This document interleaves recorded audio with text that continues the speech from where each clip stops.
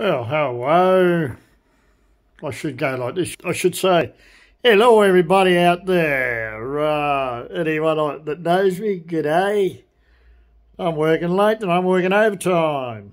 Um, that's what I've been working on. This one I'm going to colour in tomorrow morning.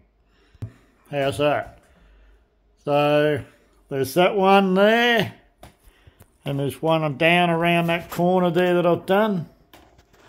Uh, so I'll be working on, oh look, it's, you can see I've got the whole paintings everywhere here.